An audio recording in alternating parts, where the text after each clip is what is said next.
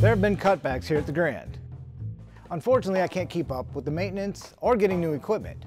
So now all of the actors are gonna have to share the same microphone.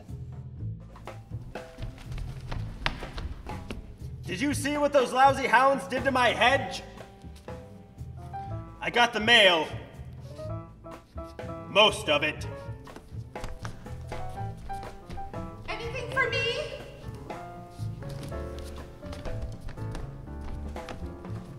Sure, here you go.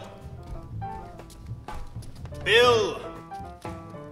Bill. Bill!